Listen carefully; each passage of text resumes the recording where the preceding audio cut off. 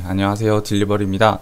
자 오랜만에 영상 하나 제작하게 되었는데 이번에 3.0 버전 나오면서 어, dark 모드라는 기능이 하나 나와서 소개해 드리려고 영상을 제작하게 되었습니다. 자, 요즘 뭐 스마트폰도 그렇고 네, 뭐 엑소캐드도 그렇고 dark 모드가 뭐 대세인 것 같은데 어, 먼저 dark 모드 설정하려면 여기 세팅 환경 설정으로 들어가 주시면 됩니다.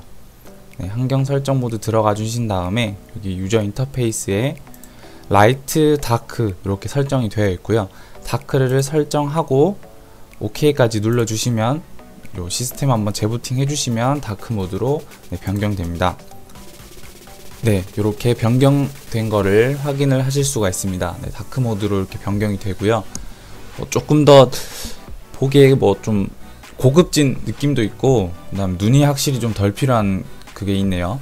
네, 그리고 원래 바탕화면 색상이 이렇게 음, 엑소캐드를 좀 상징하는 요 보라색이었는데 요거 배경 색상을 바꿀 수 있는 기능이 하나 추가가 되었더라고요. 세팅 들어가셔가지고 여기 background color 배경 화면 색상 네 여기에서 바로 밑에 보시면 이렇게 플러스 버튼이 있습니다. 요거 누르신 다음에 뒤에 색상 여기 클릭하시면 어, 배경 색상을 이렇게 이쁘게 바꿀 수가 있더라고요. 그래서 요거는 기존에 좀 보라색이 저는 조금 칙칙한 감이 없지 않아 있었는데 네 요걸로 바로 여기 실시간으로 뭐 재부팅 다시 안 해도 실시간으로 이렇게 화면을 보고 이렇게 바꿀 수가 있으니까 어, 네 요거는 저는 되게 좋은 기능인 것 같습니다.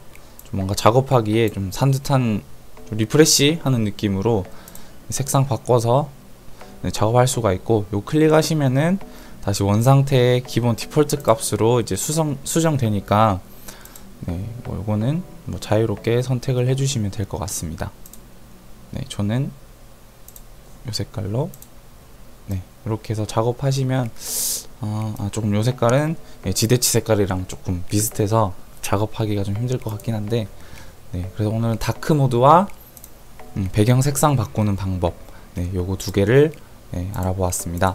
네, 좀 추가로 좀 더 많이 좋은 기능이 되게 많더라고요. 그래서 그거를 제가 중점적으로 이제 좀 업로드를 해보려고 합니다. 네, 이번 시간에도 시청해 주셔서 감사드립니다.